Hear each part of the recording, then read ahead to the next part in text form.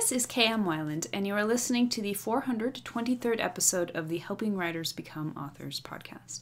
For a while now, I've had this idea that it might make an interesting post if I were to do a screen capture of my real time writing process. Instead of just talking about what my process is while writing, I could make a video that would show people. So this week, I set up an external camera to show myself typing and did a screen cap of one of my writing sessions with my Portal Fantasy sequel, Dreambreaker.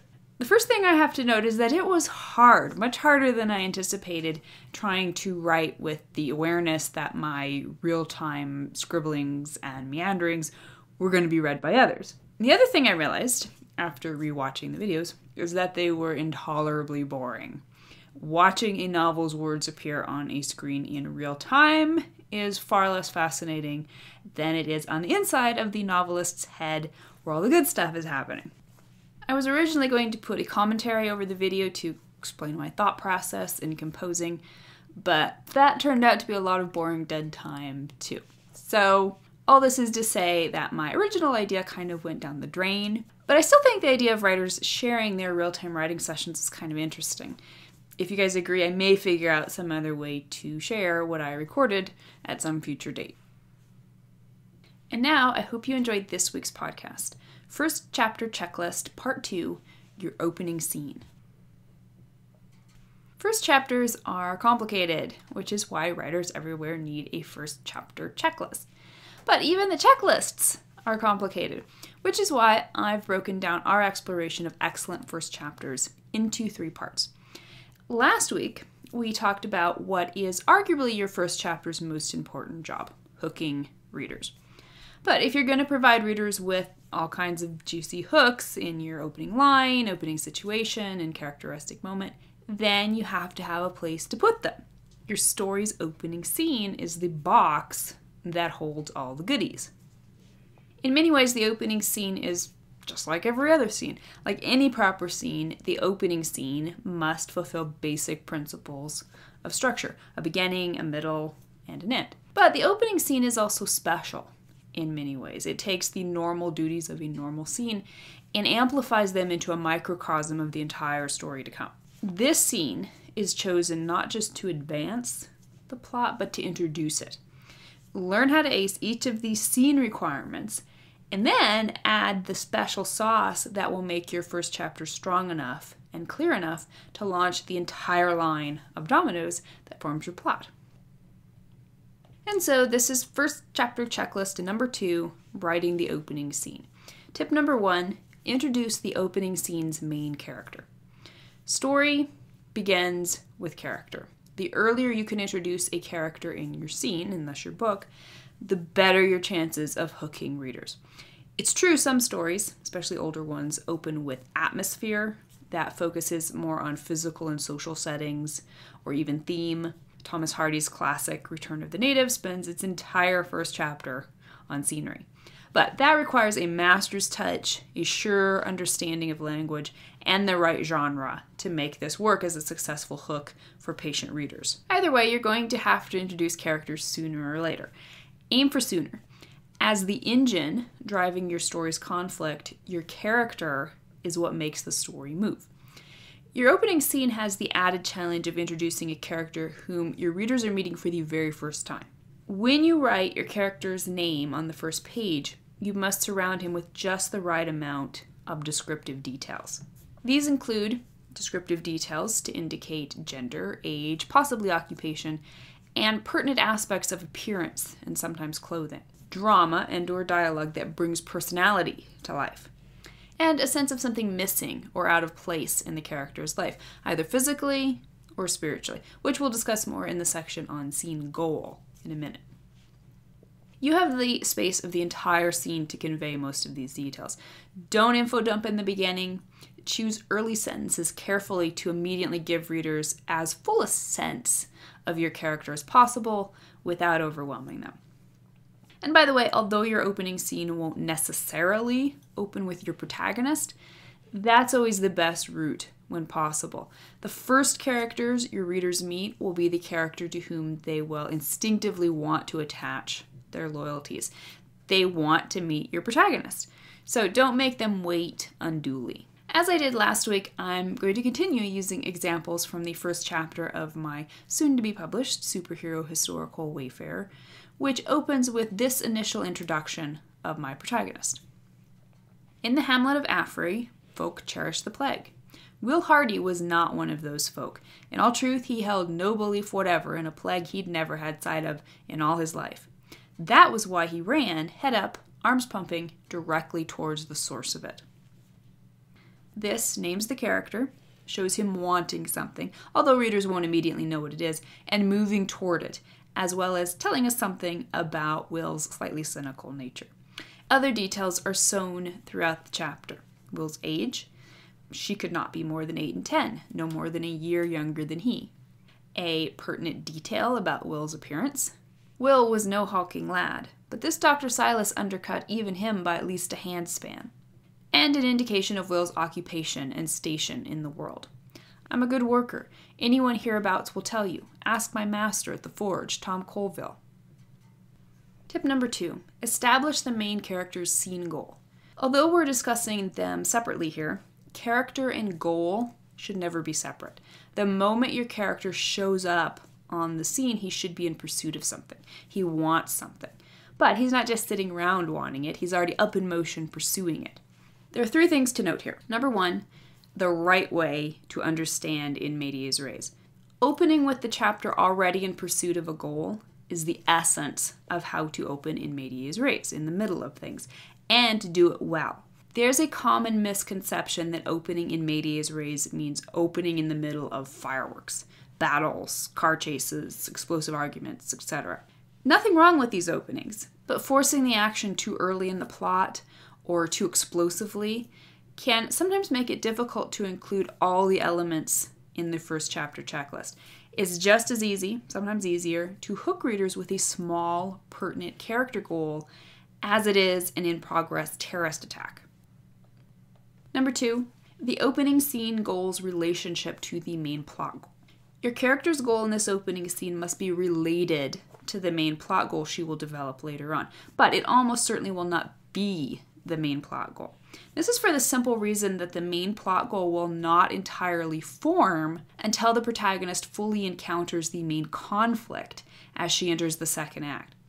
In most stories, the protagonist won't even get her first full look at the main conflict and our goal until the call to adventure at the inciting event halfway through the first act, around the 12% mark. Instead, the goal in this opening scene will be set up for that call to adventure. What happens in this scene, however ancillary to the main conflict, will be the first domino pushing the character, probably unawares, toward that inciting event. This means the opening goal will be related to the main conflict, but not in a way the character is yet fully conscious of. And number three, opening with a sequel instead of a scene. In discussions of scene structure, I'm often asked whether a book can open with the reaction or sequel half of a scene in the aftermath of an off screen scene disaster. The short answer is yes. In fact, opening with the character in full on reaction mode to something earth shattering can create an excellent hook. But the character must then immediately progress from reaction to a new goal. Don't open with the character sitting around thinking. Open with the character in action, pursuing something important. As we've seen, Wayfarer opens with the protagonist in literal action, running as fast as he can across the field readers understand immediately that he wants something. This provides a little space for me to wait until a few paragraphs later to reveal this something is a job. The doctor's eyes lit up. He grinned, revealing a full yellowed set of teeth. Now we come to it. Do you know why I asked you here? Will responded, Your note suggested you'd pay the fare for a likely boy to transport something of value to London. Tip number three establish or foreshadow the antagonistic force via conflict. In any properly structured scene, the next step after establishing your character's goal is obstructing that goal with conflict. The character wants something, but getting that something isn't a straightforward proposition. Something or someone interferes, causing the protagonist to fail in gaining her desire, or gain her desire, but with consequences, or partially fail in gaining her desire, forcing her to formulate a new strategy. In your opening scene, this conflict should be even more faceted than usual. This conflict will introduce the main plot either by establishing or by foreshadowing the story's main antagonistic force. Now, wait a minute. You're probably thinking, but didn't you just say the opening scene doesn't introduce the main conflict because the protagonist hasn't even seen it yet? Too true. The important distinction here is that in the second act, the character's main goal will have met the main obstacle and antagonistic force, creating the main conflict. Either the main goal or the main conflict, or both, will not yet be present in the story's beginning. But, and here's the important part neither of these things come out of nowhere. They develop from seeds of motivation on both the protagonist's and antagonist's part, and from causal circumstances. Your opening scene needs to present, or at least foreshadow, the first of these causal circumstances. Here's an easy rule of thumb to ask yourself when deciding if your opening scene's conflict is pertinent enough to the main conflict to come.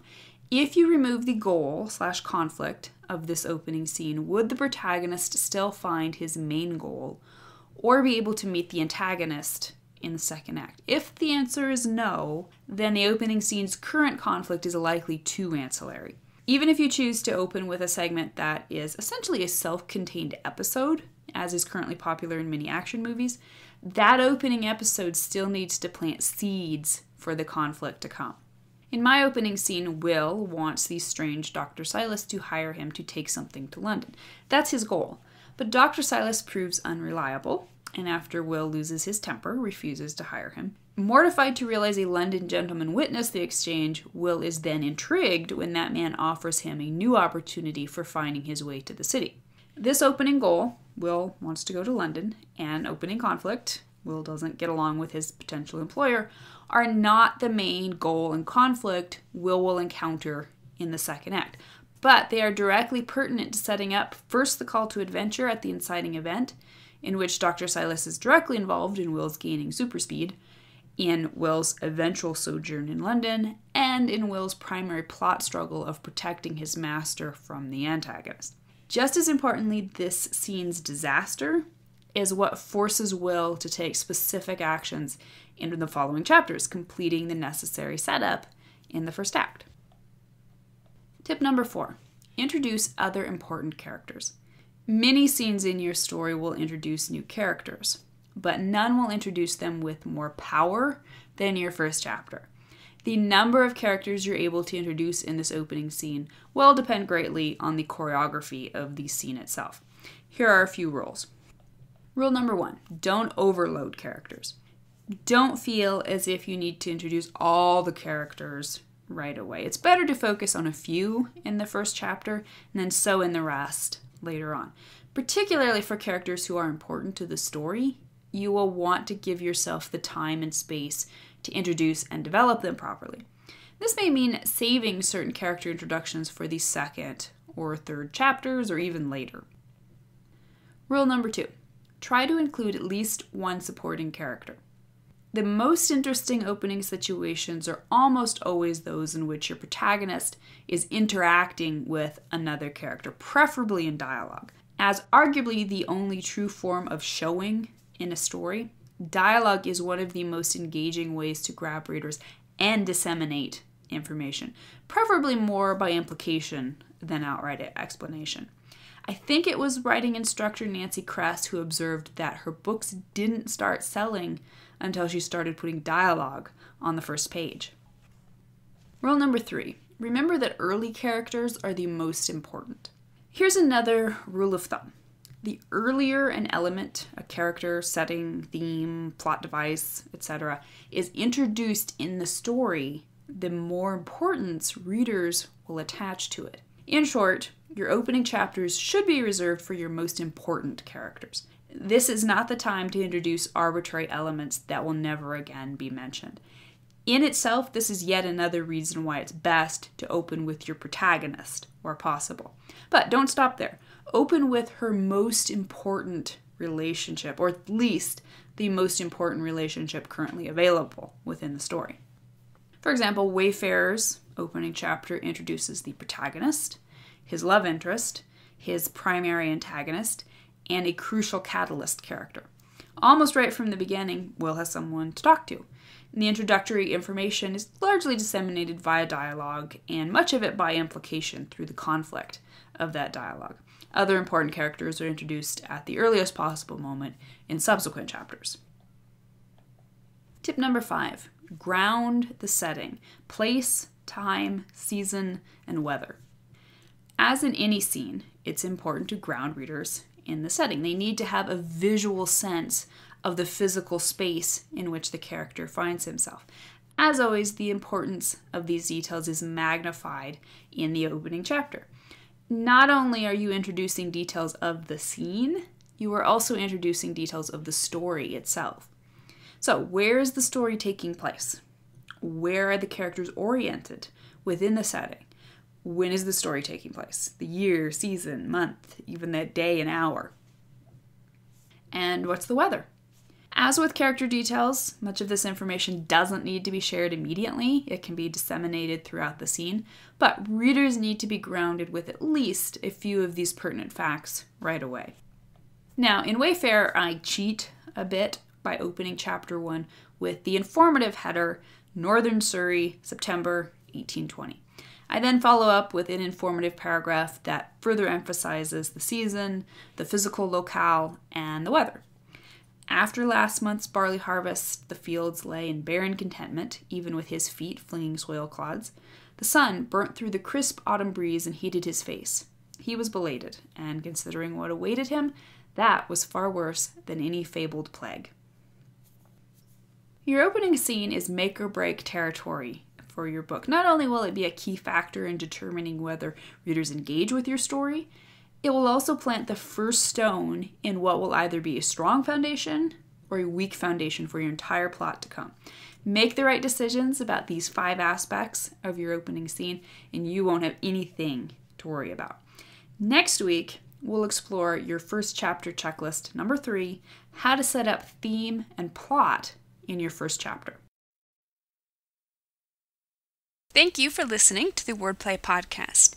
To read a transcript of this episode, you can visit my website at helpingwritersbecomeauthors.com. And be sure to check back again next week.